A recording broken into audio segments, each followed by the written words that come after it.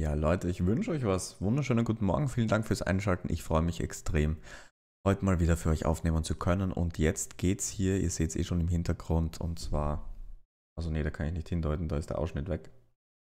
Ähm, und zwar im Derby von Barcelona gegen Espanyol und danach haben wir das Champions League-Spiel gegen Monaco. Im Moment läuft es sehr gut bei uns. Wir sind gut drauf.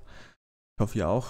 Ich bin gut drauf und die Aufstellung fürs Spiel gegen äh, Espanyol haben wir im letzten Part schon gemacht. Das heißt, wir müssen auf die verletzten Fatih, Joao Rosa und Buana Sosa verzichten. Roman und Marcos haben gerade erst bei der B11 gespielt oder bei der, ja, müsste die B11 sein. Und ja, dann haben wir noch die müden Ibanez und Araujo, die eine Pause bekommen, ebenso wie Arnau Zola. Ja, Porro ist eigentlich auch ein bisschen müde. Wobei, genau da haben wir die Spielbelastung, die hoch ist und Singo ist müde. Das heißt, das ist irgendwie eine blöde Kombination. Würde sogar sa äh, sagen, dass wir das vielleicht dann noch so machen, dass Mukiele recht spielt, damit wir hier wirklich die Belastung möglichst gering halten bei allen. Ähm, ja. Und dann schauen wir, dass wir jetzt einfach im Derby gegen Espanyol Barcelona unsere Form, unsere gute Form halten, die drei Punkte holen und ja, genauso weitermachen wie bisher. Mit dieser Aufstellung werden wir es heute probieren. Und hier sehen wir jetzt noch die Formation von Espanyol. Die haben momentan eine Niederlage nach der anderen. Tony Lato, einer unserer Ex-Spieler aus dem Arsenal Let's Play, sehen wir da. Na, Espanyol kämpft ziemlich die letzten Jahre. Sie waren ja auch in echt mal abgestiegen. Ist vielleicht auch mal eine ganz interessante Challenge, so den jeweils kleineren Club einer Stadt groß zu machen. Wie den FC Paris zum Beispiel oder eben Espanyol Barcelona. Guardiol, ah, da ist niemand. So, Gabi mit der Flanke und da ist Eric Garcia, Ball wird geblockt und geklärt.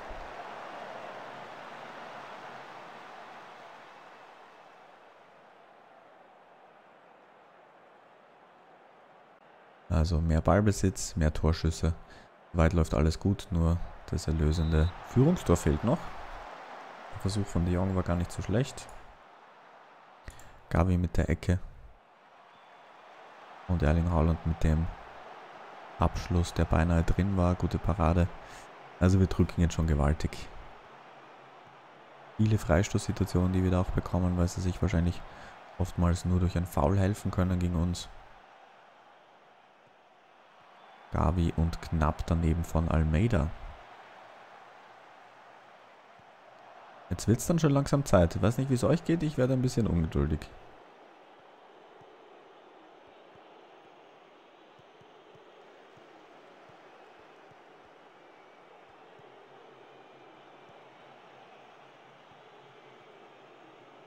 So, Yusuf Demir, guter Antritt.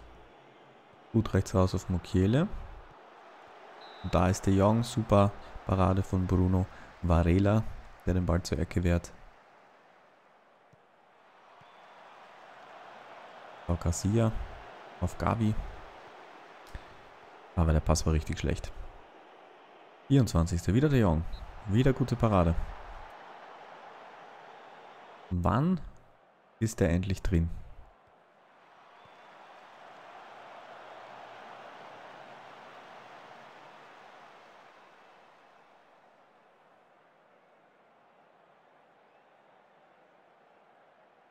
So, Gavi. Wieder schlechte Flanke. Dabei hat Gabi eine Note von 7,4, also eigentlich eine relativ gute Mukiele mit einer gelben Karte. Eben sagen wir schon, dass er aufpassen soll. Gerade eine Unterzahl könnte natürlich die Partie ziemlich zum Kippen bringen. Und da war jetzt scheinbar ein Schubser gegen Erling Haaland dabei. Und damit jetzt eventuell per Elfmeter die Chance, uns in Führung zu bringen. Schauen wir mal, was der Schiedsrichter sagt. Er gibt ihn. Damit haben wir die gute Chance für Erling Haaland hier in der 35. Minute und er macht ihn. Damit gehen wir endlich in die verdiente Führung und ich hoffe, dass das jetzt vielleicht so ein bisschen ja, Leichtigkeit bringt und ähm, wir dann bald die Führung ausbauen können, wäre natürlich jetzt wichtig. Yusuf Demir mit einem super Pass. Mukiele wieder auf Demir und der haut ihn drüber. Schade.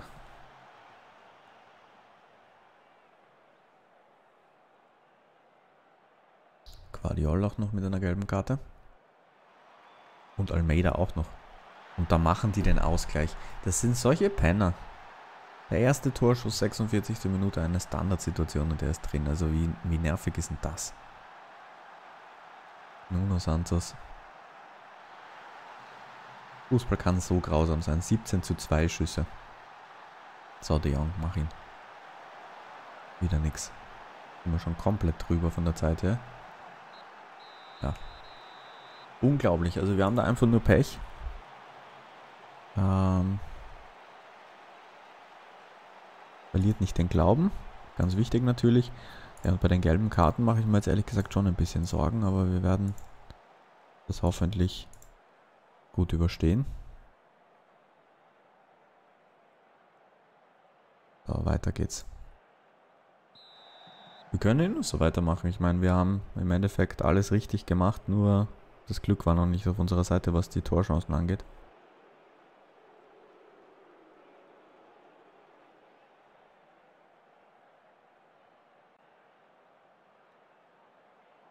Aber auch schon krass die Nachspielzeit. Drei gelbe Karten in der Nachspielzeit und ein Tor.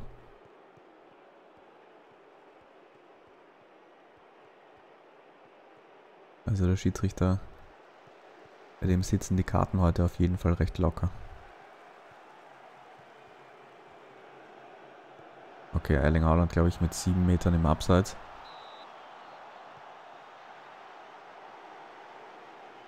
Ich glaube, da braucht man keinen Videoschiedsrichter. So, Almeida ist richtig müde. Ich mache jetzt folgendes. Ich schiebe den Mukiele hier nach hinten. Die Anweisung ist eh noch drin und dann bringen wir den... Bringen wir den Singo, der ist aggressiv.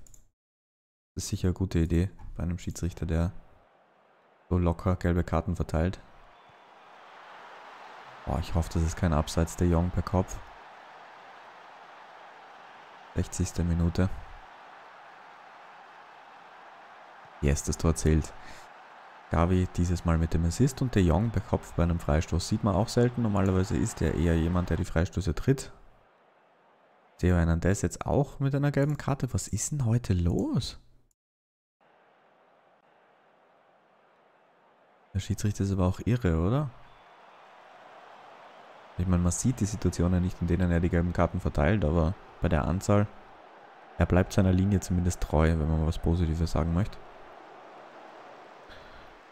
Müssen wir vielleicht noch aufpassen, ob wir da noch wen bringen. Weiß nicht. Erling Haaland auf Yusuf Demir. War nicht so gut gemacht. Petri. Bingo. Okay, das war... Also bei dem Schiedsrichter kann man es versuchen. Hätte normalerweise auch gelbe Karte und Elfmeter geben können, aber war eher ein bisschen peinlich. Ich lobe sie mal. Die Moral.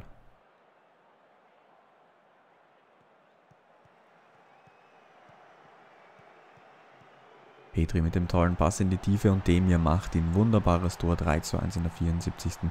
Minute. So, jetzt werden wir vielleicht nochmal wechseln. Haben erst einmal gewechselt. Ich kann den Erling Haaland rausnehmen und Francisco bringen. Wobei ich es dann vielleicht so machen würde. Yusuf Demir als hängende Spitze. Machen wir es mal so.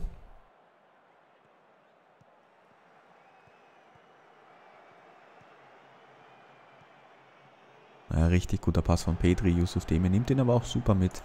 Weil wenn er den ein bisschen schlechter mitnimmt, dann geht er vom Tor weg.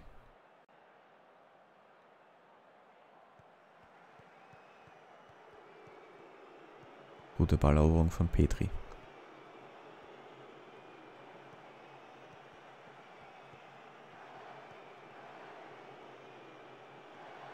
Bingo.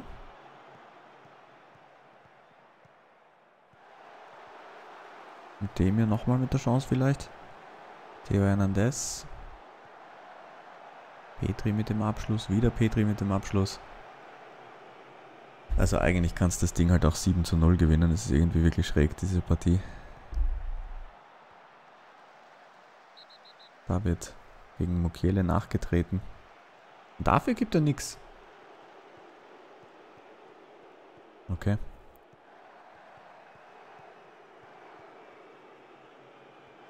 Gut von Francisco. Bingo. Okay, er hat viel Platz, wird nicht attackiert und er war hauchdünn drüber. Beinahe das vierte Tor. So, für die Schlussphase werden wir jetzt noch einen Wechsel machen. Petri ist richtig müde, bringen wir dort den Van. Dann tauschen wir die beiden.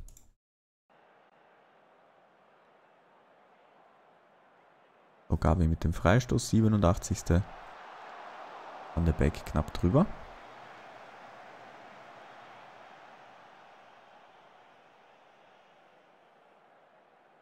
Schaut euch das an. Jetzt hat Rocker doch noch seine gelbe Karte bekommen. Also was ist mit dem Schiedsrichter los?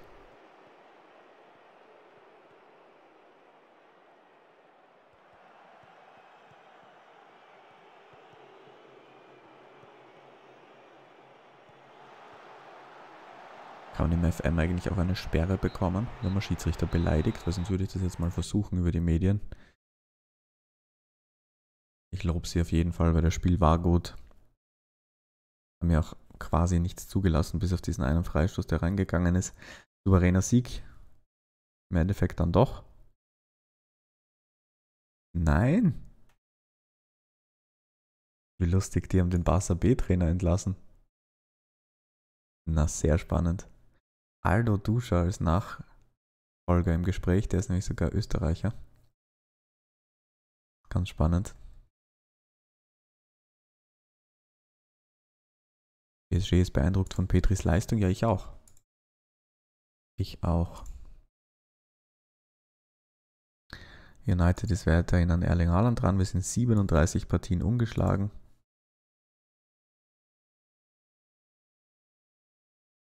Naja. So ist es auf jeden Fall jetzt. Jetzt haben wir Monaco.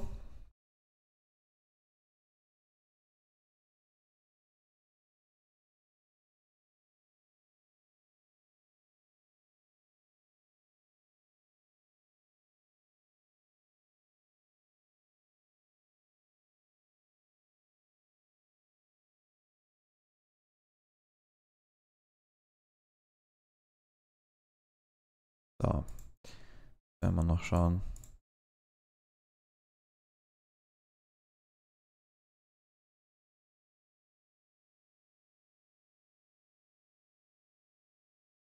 Verletzungsbericht. Zwei Wochen ist Ansu Fati also noch verletzt. Das heißt, ein bisschen fällt er noch aus. Warner Sosa auch noch bis zu zwei Wochen. Schauen wir mal, haben wir jetzt mal. Ah, da geht es noch ziemlich durch mit englischen Wochen. Das heißt, da gibt schon noch einige Partien, die sie leider fehlen. Schauen wir mal kurz auf die Tabelle der Champions League. Also wir haben die beiden ersten Spiele gewonnen, haben jetzt das Doppel gegen Monaco. Da werden wir mal sehen, wie es denn so läuft für uns. So, für die U19 mache ich die jetzt nicht verfügbar.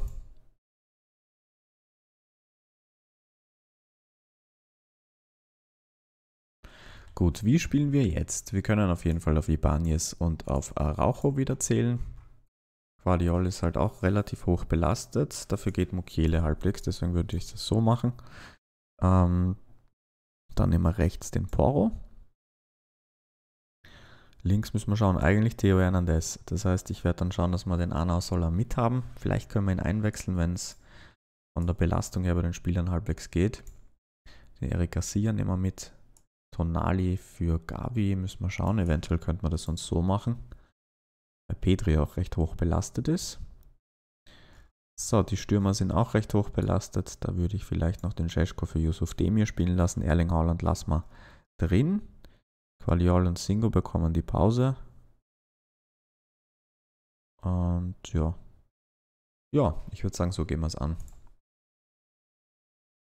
Bin ich mal gespannt. Monaco auswärts. Jan und Sai haben die.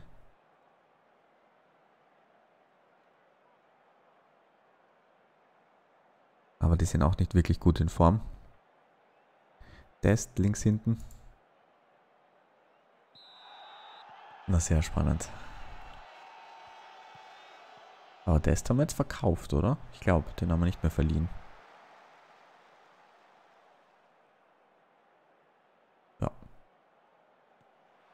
Den werden wir jetzt natürlich auch ein Auge haben.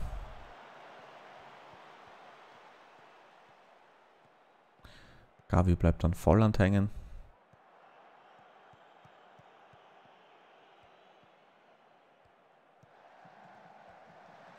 Super Kombination Tonali. Naja, der ist halt nicht der torgefährlichste Spieler. Versuch war aber gar nicht schlecht.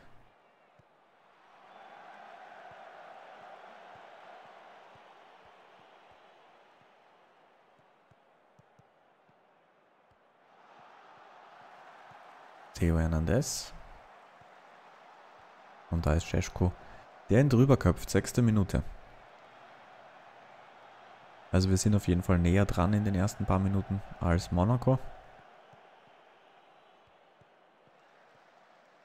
Schauen wir, ob es so weitergeht.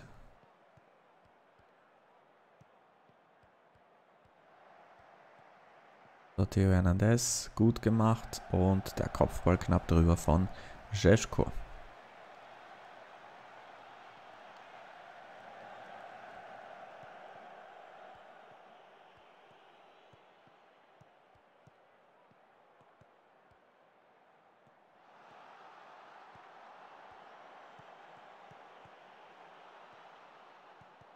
Erling Haaland. Guter Pass. Theo Hernandez jetzt oh, versucht das aus dem Spitzenwinkel. Ivusic mit der guten Parade. Weil es mir gerade so einfällt, Theo und Lukas sind ja Brüder. Ähm, sind so ziemlich das bekannteste oder das stärkste Brüder-Duo, das mir jetzt so auf die Schnelle einfällt. Neben vielleicht Gary und Phil Neville Ende der 90er oder in den 90ern. Ähm, Gibt es andere Brüder-Duos, die extrem stark waren? Gerade überlegen, aber mir fällt gerade nicht wirklich was ein. Nichts, nichts auf diesem Level, wie die sind, also Lukas und Theo. Muss man schon sagen, Respekt. Meistens hast einen, der sehr gut ist und da der kleinere Bruder ist dann halt meist nur durch den Großen so ein bisschen bekannt und ist halt normal irgendwo Profi. Nicht auf dem Niveau. Mich mal interessieren, ob euch jemand einfällt. Eigentlich ist es eh voll offensichtlich und es gibt total viele.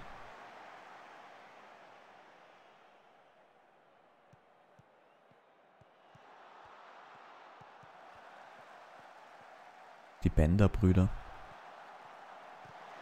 Dann nochmal natürlich krasser sind mit Zwillingen oder als Zwillinge.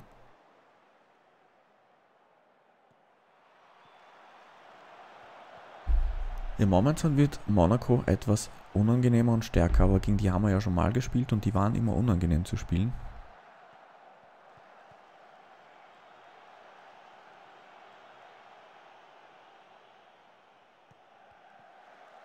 Da haben wir uns immer irgendwie geplagt. Wie weiter Araujo von Ben Yedda weggeht, ist mir auch wieder. Ich jetzt mal mehr fordern, denn wenn wir so weitermachen, dann klingelt es vielleicht bald. Damachu Ameni zum Beispiel. Auch ganz interessanter Spieler, der jetzt zu Real gegangen ist. Ich glaube, der Wechsel ist fix im Sommer. Boah, Müssen wir uns auch mal anschauen hier. Ja, unglaublich gute Werte. Marktwert ist halt auch brutal, aber wir werden ihn mal scouten. Weil wir eh schon so ziemlich alles über ihn wissen, aber schadet nicht. So, Erling Haaland, Cesko. Also so kläglich Chancen zu vergeben, das, das kann sich natürlich dann rächen. 11 zu 3 Schüsse.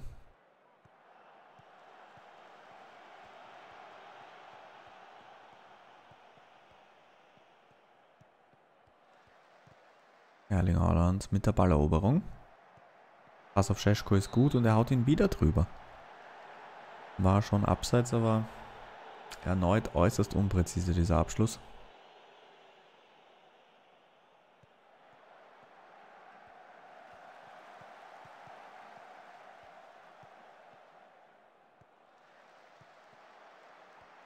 Gut von Gavi. Peschko. Kommt schon. Wird wieder nichts. Und da ist es passiert. Cesko nach Vorlage von Theo Hernandez mit dem siebten Saisontor. In der 42. Minute trifft er jetzt hier per Kopf zur Führung. Ausgezeichnet.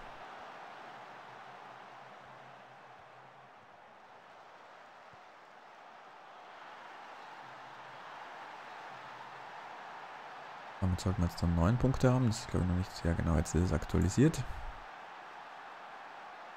Ja, wir kontrollieren den Ball, so wollen wir das haben. De Jong müde. Da werden wir den ersten Wechsel machen und bringen Van de Beek.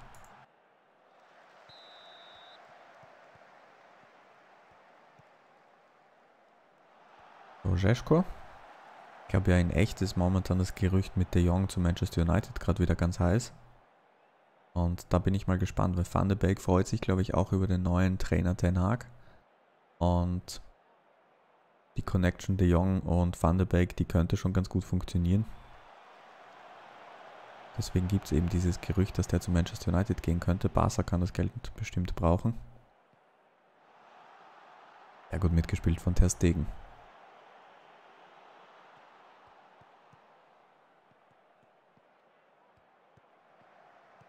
Gut von Theo. Erling Haalands Pass war nicht schlecht. Und da Ivusic schießt Jeschko an. Wie verrückt ist denn das Tor? 2 zu 0. Die Situation war für mich eigentlich schon ziemlich erledigt. Also ich wollte schon, wollte schon damit abschließen. Hier sehen wir es nochmal. Der Pass eigentlich ganz gut. Sehr gefährlich, aber Diallo hat ihn. Und Ivusic schießt halt Jeschko einfach an. Der hält aber auch den Kopf dagegen. Ohne Rücksicht auf Verluste Ganz, ganz stark.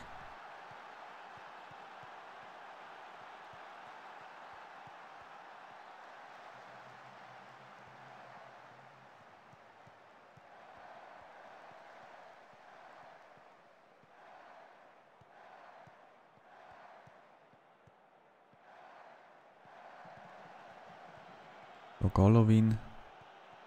Super Tackling. Mukiele Pedro Porro mit dem Pass in die Tiefe auf Gavi, der ist zu weit. Aber der nächste Torwartfehler, was ist denn mit ihm los? Gavi mit dem 3 zu 0.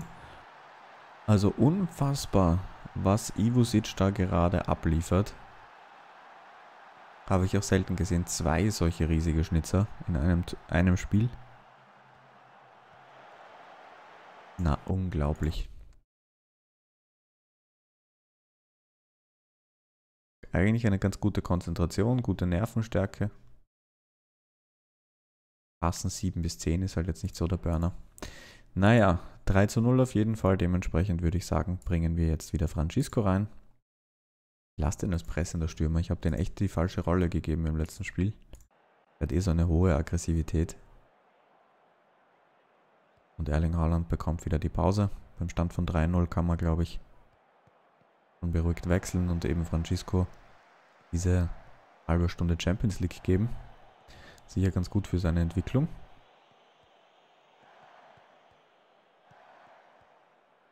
Auf Francisco. Theo Hernandez. Ah, da könnte man auch noch wechseln. Tonali. Bus geblockt.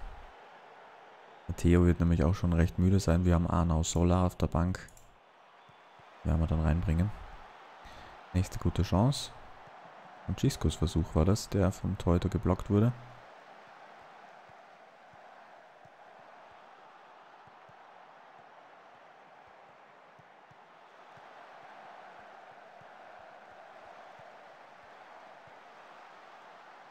Ah, das ist immer irgendwo ein Bein dazwischen. Oder ein Glied. So, bis zur 70. warte ich noch. Früher möchte ich den letzten Wechsel jetzt eigentlich nicht machen und dann werden wir den Theo Hernandez noch rausnehmen. Ich stelle es jetzt mal. Ja, warten wir die Szene vielleicht noch ab. Warten wir mal. Ivusic ist am Ball. Ah, dieses Mal passiert nichts. Ganz im Gegenteil. Chance für Monaco. Cessignon. Aber kein Problem. So, wir machen den letzten Wechsel. Ich bringe den Arnau Sola links hinten. Statt Theo Hernandez.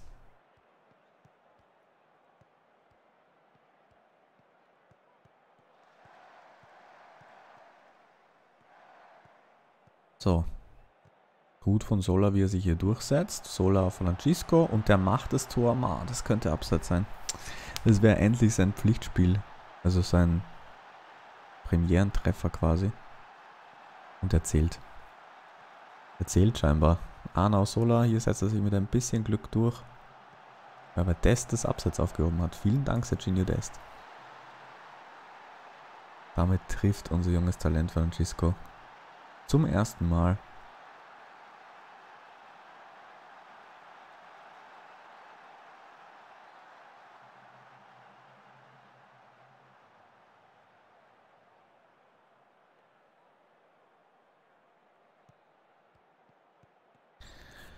Und wir souverän in der Champions League 4 zu 0. Hat gerade am Anfang zwischendurch so ein bisschen gefährlich ausgesehen. Da war dann Monaco kurz mal so wirklich so 5 bis 10 Minuten richtig gut. Aber das reicht dann halt im Endeffekt nicht aus. Bayern gegen Villarreal, da plagen sie sich, das wissen wir.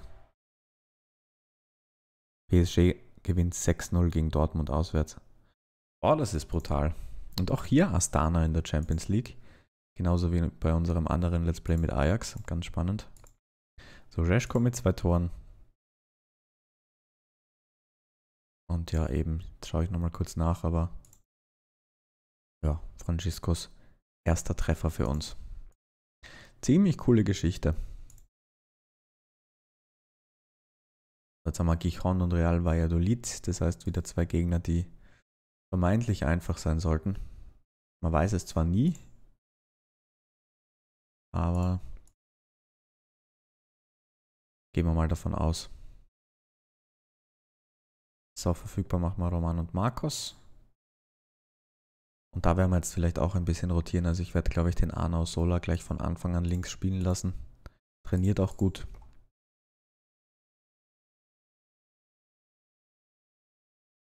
Also dem tut die Entwicklung sicherlich auch gut. Man sieht hier auch von den Noten her, dass er absolut in Ordnung unterwegs ist. Ist jetzt nicht das Megatalent, wird jetzt wahrscheinlich nicht zur Weltklasse reifen, aber eben für die Breite für uns, gerade in so einer anstrengenden Situation wie jetzt, wo er einfach halt ein vielseitiger Spieler ist, der alle möglichen Positionen abdecken kann, ist das schon eine ganz coole Geschichte. So, jetzt ist eben die Frage, wie wir da. Ah, jetzt habe ich gerade gedacht, der FM hat sich verabschiedet. Wie wir da jetzt aufstellen. Also bei den dreien ist überall die Spielbelastung hoch. Jetzt schauen wir mal kurz. Verletzungsrisiko hoch hoch, hoch. Verletzungsanfähigkeit gering, unterdurchschnittlich, unterdurchschnittlich. Ja, dann lassen wir den Mokele spielen. Nehmen den Garcia noch mit und den Almeida. Die beiden tauschen wir, damit wir Mokele im Zentrum haben, der, der ist mir immer da lieber. Theo Hernandez eben Arnau Sola. Wenn wir den Singo statt dem Poro spielen lassen.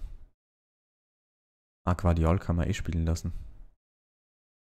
Okay, dann machen wir es anders. Dann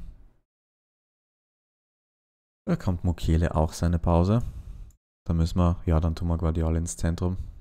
Ist mir ehrlich gesagt dann lieber als Almeida wahrscheinlich. Tonali ein bisschen müde, Gavi allerdings auch. Ja, da muss dann trotzdem Gavi durch, hätte ich gesagt, für das Spiel. Der Petri darf wieder spielen. De Jong ist fit genug. Dafür kriegt Erling Haaland vielleicht jetzt mal die Pause. Lass mal Francisco mal vom Beginn weg spielen. Warum nicht, oder? Machen wir es so, würde ich sagen. So, eigentlich sind wir von der Zeit her schon am Ende. Können wir vielleicht noch kurz die Verträge checken. Passt immer ganz gut rein. Wenn wir eh noch ein paar Minuten haben. Also wir sehen hier, bei uns in der ersten Mannschaft läuft jeder Vertrag mindestens noch zwei Jahre oder eineinhalb. An dem hier ist Chelsea interessiert. Ja, also wir haben hier schon dafür gesorgt, dass die Verträge relativ lange laufen. Wir müssen halt überlegen, gerade bei so Leuten wie Almeida und Sola oder auch einem Demir, dass die wahrscheinlich dann bald bessere Verträge haben wollen. An Almeida ist Sporting Lissabon interessiert. Halt schon ein ganz netter Spieler für die Breite. Ja, 1,9. Was hat er jetzt? 700.000? Das passt schon eher zu dem. Ich möchte halt jetzt einfach auch, dass der ein bisschen glücklich ist. Vier Jahre. Das passt. Dafür streiche ich ihm die Gehaltserhöhung raus und das gehen wir auf 5%. Dafür kriegt er 1,95. 2,1 hätte er gern.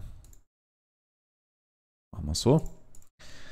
Und dann werden wir auch noch den Vertrag von unserem Arnau Sola verlängern. Der wird natürlich nicht ganz so viel haben wollen. Rotationsspieler will der haben. 1,1. Ja, 1,1 ist jetzt nicht tragisch. Gehen wir wieder hier rauf auf das. Dann müssen wir hier die ganzen Erhöhungen rausnehmen. Dafür lasse ich ihm die 10% drin. So, das streichen wir raus. 1,17 für Arnau Soller. Dann hat er auch vier Jahre verlängert. Dann haben wir Mukiele, Mukiele dessen Vertrag ausläuft. Als Newcastle interessiert, der hätte auch schon langsam gerne einen neuen Vertrag. Der Stegens Vertrag läuft bald aus, 32 Jahre alt. Das ist beim Torhüter ja sowas von wurscht. Also den könnte man auch noch verlängern. Und Yusuf Demir will auch einen neuen Vertrag, will wahrscheinlich Stammspieler sein.